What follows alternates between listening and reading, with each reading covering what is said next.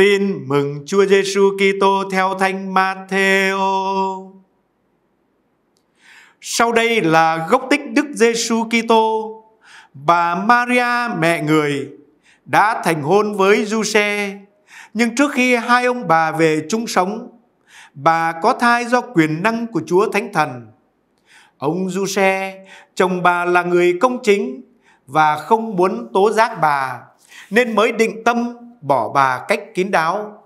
Ông đang toan tính như vậy, thì kìa sứ thần Chúa hiện đến báo mộng cho ông rằng, Này ông Giuse, con cháu vua David, đừng ngại đón bà Maria vợ ông về, vì người con bà cưu mang là do quyền năng Chúa Thánh Thần. Bà sẽ sinh con trai và ông phải đặt tên con trẻ là Giêsu vì chính người sẽ cứu dân người khỏi tội lỗi của họ. Tất cả sự việc này xảy ra là để ứng nghiệm lời Chúa phán xưa qua miệng ngôn sứ rằng Này đây trinh nữ sẽ thụ thai và sinh hạ một con trai. Người ta sẽ gọi tên con trẻ là Emmanuel Có nghĩa là Thiên Chúa ở cùng chúng ta. Đó là lời Chúa. Kính thưa quý bà và anh chị em, đáng nghe hôm nay là thứ sáu của tuần 22 thường niên. Con sẽ công bố bài tin mừng của Thánh Luca để tiếp tục cái chặng tin mừng của Thánh Luca. Nhưng mà bởi vì hôm nay là ngày sinh nhật Đức Trinh Nữ Maria, hôm nay là ngày mùng 8 tháng 9, ngày sinh nhật Đức Trinh Nữ Maria.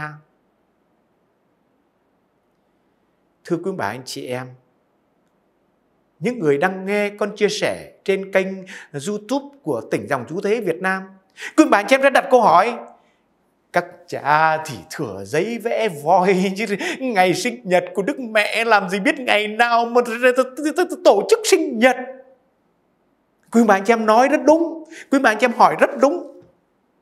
Đúng, không ai biết chắc chắn ngày sinh nhật của Đức Mẹ mà chẳng nói đâu xa thưa quý bà anh chị em. Con của đức trinh nữ Maria là Chúa Giêsu bây giờ chúng ta lấy ngày 25 tháng 12 là ngày sinh nhật của ngài. Cũng đâu có chính xác, đâu có ai dám khẳng định 100% chẳng qua khi mà Kitô giáo trở thành quốc giáo của đế quốc Roma, thì bây giờ người ta muốn gọi là rửa tội. Cái chữ rửa tội con đặt trong ngoặc kép nha rửa tội cái nền văn hóa của tôn giáo ừ, ngoại lai từ bây giờ, thì ngày 25 tháng 12 là ngày đông chí ngày ngắn nhất đang trông đợi mặt trời công chính, ló rạng thì chúng ta lấy ngày đó là ngày sinh nhật của Chúa Giêsu. Cho nên không ai biết chính xác 100% ngày sinh nhật của Chúa Giêsu. Và ngày Chúa Giêsu sinh mà còn không biết thì làm sao mà biết ngày sinh nhật của Đức Trinh Nữ Maria được? Vậy thì chúng ta mừng biến cố Đức Trinh Nữ Maria hay là sinh nhật của Chúa Giêsu nhắm cái mục đích gì? Thưa quý bà và anh chị em, những người đang nghe trên kênh YouTube của tỉnh dòng Chúa Tế Việt Nam của chúng con, muốn nhắm tới một sứ điệp rằng chúng tôi mừng sinh nhật Chúa Giêsu hay mừng sinh nhật Đức Trinh Nữ Maria là bởi vì chúng tôi mừng cái người đó đã hiện hữu thật trong cõi trần gian này. Người đó đã hiện hữu thật trong cõi trần gian này. Đức Giêsu Kitô là một con người lịch sử thì mẹ của Ngài cũng là một con người đến trong cõi lịch sử này. Mẹ cũng bước chân trên trái đất này như chúng ta đang bước ngày hôm nay thưa quý bà anh chị em. Đương nhiên thì không có xe gắn máy, không có xe hơi như chúng ta đâu mà cũng không đi máy bay như chúng ta đâu. Nhưng mẹ cũng từng bước những bước chân trên lịch sử nhân loại này. Cho nên chúng ta mừng sinh nhật ngày mùng 8 tháng 9, mừng sinh nhật Đức Trinh Nữ Maria là mừng một con người tuyệt vời, một thọ tạo xinh đẹp nhất trước mặt của Thiên Chúa đã hiện hữu trong cõi trần gian này. Mừng một người đã đến, đã hiện hữu trong trần gian này thì nói lên cái chuyện gì thưa quý bà anh chị em? Ông triết gia Spinoza và sau này được triết gia Heidegger, triết gia người Đức, ông nói một cái câu lừng danh như thế này: hiện hữu hơn là hư vô. hiện hữu hơn là hư vô. Và trong Kinh Thánh nói cho chúng ta như thế này, một con sư tử chết không bằng một con chuột sống. Một con sư tử chết không có giá trị bằng một con chuột sống. Vậy thì chúng ta mừng biến cố Đức Trinh Nữ Maria sinh nhật. Chúng ta nói một chuyện rằng Thiên Chúa cho mẹ hiện hữu trong trời đất này. Cái hiện hữu của mẹ nó có giá trị. Và khi chúng ta mừng sinh nhật của mẹ, một thọ tạo xinh đẹp nhất mà Thiên Chúa đã cất công tạo dựng cái sự hiện hữu của mẹ đem lại hữu ích cho chúng ta. Và hôm nay chúng ta mừng biến cố sinh nhật Đức Trinh Nữ Maria. Con mời gọi quý bà anh chị em nhìn một chút về lược sử của cái ngày mà chúng ta mừng mẹ hiện hữu trong trần gian này. Hiện hữu của mẹ đã làm thay đổi dòng lịch sử nhân loại. Ngày mùng 8 tháng 9, hôm nay chúng ta mừng sinh nhật Đức Trinh Nữ Maria. Thì ngay từ thời đầu, Giáo hội Đông Phương đã mừng lễ sinh nhật của mẹ từ thời gian khoảng chừng thế kỷ thứ 5, thứ 6, năm, năm 560 đến năm 715. Họ đã mừng sinh nhật mẹ rồi. Và thế kỷ 11 thì Thánh Giám mục Fulberto có công truyền bá ngày lễ với mục đích làm cho ngày lễ sinh nhật được lan tỏa khắp hội thánh. Và Đức Giáo hoàng Innocento IV đã khởi xướng làm tuần 8 ngày trước ngày sinh nhật của mẹ. Rồi Thánh Gregorio thứ 11 đặt lễ vọng trước lễ sinh nhật của mẹ. Và Đức Thánh Cha Pio thứ 10 bỏ lễ vọng vào tuần 8 ngày và lấy ngày mùng 8 tháng 9 đúng 9 tháng sau lễ Đức Mẹ vô nhiễm nguyên tội là mùng 8 tháng 12 để làm sinh nhật cho mẹ. Như thế chúng ta thấy được ngay từ xa xưa hội thánh đã yêu mến và trân trọng để mừng sinh nhật cho mẹ. Mừng sinh nhật cho mẹ thì được cái gì thưa quý bà anh chị em?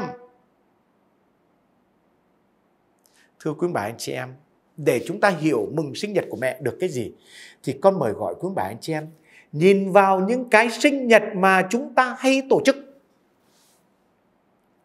Bây giờ chúng ta hay tổ chức sinh nhật một năm, hai năm rồi sinh nhật cho đủ thứ ai cũng mừng sinh nhật. Một cái bánh to chà bá rồi thổi rồi ước nguyện nọ ước nguyện kia. Cái đó tốt cái đó nên làm thưa quý bà anh chị em. Nhưng mà con đọc ở đâu đó có một người họ nói như thế này ngày sinh nhật của tôi tôi không tổ chức cắt bánh cho tôi, không nhận những món quà của người này, người nọ tặng cho tôi. Mà ngày sinh nhật của tôi tôi dành tất cả những thứ đó cho mẹ của tôi. Bởi vì mẹ tôi đã mang nặng đẻ đau, đã vượt cạn để cho tôi có mặt trên đời. Vậy hôm nay, chúng ta mừng sinh nhật của đức trinh nữ maria bởi vì chính mẹ đã mang Chúa Giêsu 9 tháng 10 ngày trong cung lòng của mẹ và đã vượt cạn để sinh Chúa Giêsu ngôi lời nhập thể trong nhân loại, đem ơn cứu độ cho chúng ta. Chúng ta tạ ơn Chúa vì công trình Chúa đã làm nơi mẹ. Mừng ngày sinh nhật của mẹ, chúng ta hướng tới Thiên Chúa, đấng đã toàn năng, đã yêu thương để cho con của Chúa đến trong trần gian này ngang qua sự cộng tác của Đức Trinh Nữ Maria. Và chúng ta không cướp công của Thiên Chúa khi chúng ta mừng sinh nhật của mẹ chúng ta. Và thưa quý bà anh chị em, mẹ của chúng ta không chỉ sinh Chúa Giêsu ra mà nói theo ngôn ngữ của các thần học. Mẹ còn sinh giáo hội, mà sinh ra giáo hội là sinh ra mỗi người chúng ta. Mà sinh ra mỗi người chúng ta với tư cách là mẹ thì người luôn đau đáu, lo lắng, quan tâm cho con cái của mình. Quý bà anh chị em biết, tại sao ông thánh du xe không hiện ra chỗ nọ, không hiện ra chỗ kia? Không thấy các thánh nam nữ hiện ra chỗ nọ, hiện ra chỗ kia. Thậm chí ông bà tổ tiên của chúng ta, các thánh tử đạo Việt Nam cũng không hiện ra cho chúng ta. Tại sao vậy? Thôi, dịp khác con sẽ trình bày. Nhưng mà tại sao Đức Trinh Nữ Maria hay hiện ra cho chúng ta? Bởi vì mẹ, với tư cách là người mẹ, đau đáu, quan tâm, lo lắng, chăm sóc cho con cái của mình. Trong cuốn sách ờ, của một thầy dòng chú cứu thế chúng con của tỉnh dòng Denver bên Mỹ. Thầy đấy trong cuốn sách là ôm đấy bức linh ảnh tình yêu hãy ôm lấy bức linh ảnh tình yêu thì ở bìa cái cuốn sách à, cả cuốn sách thì ở cái bìa cuốn sách như thế này. Thì thầy ấy viết một câu chuyện bằng tiếng Anh con đã dịch cuốn sách ấy ra tiếng Việt. Và cái câu chuyện ấy như thế này. Một ngày kia thánh Andre tông đổ chết. Mọi người có biết ông thánh Andre là ai không? Những người nghe kênh youtube của tỉnh dòng chú tế Việt Nam chúng con là đã đi lễ thì chứng tỏ là đạo đức mà còn lên đây nghe nữa là đạo đức lắm ấy nha. Là có biết cái ông thánh Andre là ông thánh nào không? Anh của ông thánh nào hay em của ông thánh nào biết không? May là quý mà anh chị em không ngồi trước mặt ở nhà thờ để con hỏi đấy. Thôi ngồi trên tivi thì con trả lời đi cho rồi. Ông thánh Andre là anh hoặc em của ông thánh Phêrô. Nói ông thánh Phêrô là ai người công giáo cũng biết hết đó thì khi thánh Andre chết, ngài lên thiên đàng chín tầng trời ngài đi tìm ngài gặp các thiên thần ngài hỏi ô đức trinh nữ maria ở đâu vậy? Sao tôi, tôi, tôi nhớ mẹ quá tôi thương đức trinh nữ maria tôi không thấy mẹ ở đâu vậy? Thế là các thiên thần mới nhí vào đầu ông thánh andre một cái. Sao ông ngố ngố vừa vừa thôi chứ? Các cha các thầy dòng chú thấy đang ngố ông còn ngố hơn à? Thế là ông thánh andre bảo sao tôi ngố? Tôi lên thiên đàng nên tôi tìm đức mẹ để tôi thăm đức mẹ tôi nhớ đức mẹ mà sao bảo tôi ngố? Các thiên thần với nói với ông thánh Andre như thế này Mẹ không còn ở trên thiên đàng đâu ông Thánh ơi Ông ngố nó vừa vừa thôi chứ. Ngay khi mẹ được Chúa cho cả hồn xác về trời Thì mẹ chiêm ngưỡng vinh quang của Thiên Chúa Rồi mẹ lại đau đáu đi xuống trần gian Để cứu vớt, để nâng đỡ con cái mẹ đang khổ đau. Đó là lý do chúng ta thấy mẹ hiện ra ở khắp nơi trên thế gian này. Vậy hôm nay chúng ta mừng lễ Đức Maria sinh nhật của mẹ. Một đàng chúng ta tạ ơn Thiên Chúa cho mẹ là thọ tạo tuyệt vời nhất. Mừng lễ sinh nhật của mẹ, chúng ta nhớ tới tình thương của Thiên Chúa đã tạo dựng nên mẹ. Nhưng đồng thời chúng ta cũng tạ ơn Chúa cho mẹ vì mẹ đã là một thọ tạo đẹp nhất từ xưa đến nay mà Thiên Chúa cất công dựng nên. Nhưng khi chúng ta tạ ơn Thiên Chúa cho mẹ, thì chúng ta cũng tạ ơn Chúa vì mẹ luôn luôn đau đáu cho chúng ta bởi vì mẹ là mẹ của mỗi người chúng ta. Xin cho chúng ta cảm nếm được tình thương của Thiên Chúa ngang qua sự chở che cầu nguyện của Đức Trinh Nữ Maria. Xin cảm ơn quý bà và anh chị em.